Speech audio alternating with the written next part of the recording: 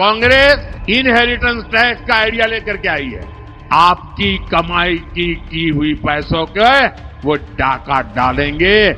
नरेंद्र मोदी जी को कुछ काम नहीं है। अगर उनको पढ़ना आता तो मैनिफेस्टो पढ़ लेते। मैनिफेस्टो में ऐसा कुछ नहीं लिखा है। वो अपनी मन धड़क कहानियाँ बना रहे हैं। नरेंद्र मोदी के ज़रिए कांग्रेस पार्टी पर इनहेरिटेंस टैक्स यानी विरासत टैक्स लागू कर माँ बाप की संपत्ति बच्चों को मिलने से पहले आधे हिस्से पर कब्जा करने का इल्ज़ाम लगाया गया है। मोदी के इस इल्ज़ाम पर कर्नाटका आईटीबीटी और Gulbarga district incharge minister Priyank खड़गे ने गुलबर्गा हेडलाइन से बात कर कहा, नरेंद्र मोदी को अगर पढ़ना आता तो वो पहले कांग्रेस का मैनिफेस्टो पढ़ते, फिर इस तरह के बेबुनियाद इल्ज़ाम लगाते। बिना कांग्रेस का मैनिफेस्टो पढ़े, हमेशा की तरह नरेंद्र मोदी झूठ फैला रहे हैं। प्रियांक खड़गे ने कहा, विरासत टैक्स के ताल्लुक से कांग्रेस के मैनिफेस्टो में कोई ज़िक्र नहीं है।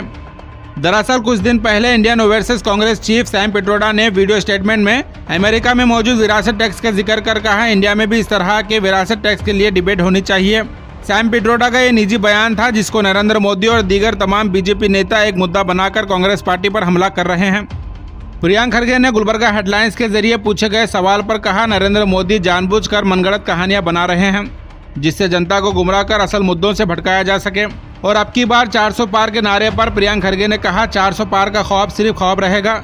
ना ही 400 पार होंगे और ना ही संविधान को बदला जाएगा। टैक्स के लिए सर नरेंद्र मोदी इस बीच में बोल रहे हैं कि टैक्स के लिए नरेंद्र मोदी जी को कुछ काम नहीं है।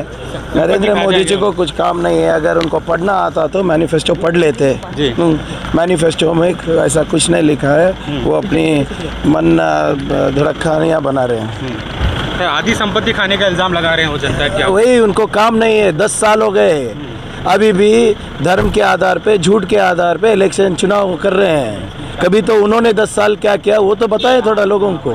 सर क्या लगता है आपको जिस तरह से 400 पार का नारा लगा रही है नरेंद्र? वो संविधान बदलने की कोशिश कर रहे हैं वो 400 पार नहीं होगा ना ही संविधान बदलेगा।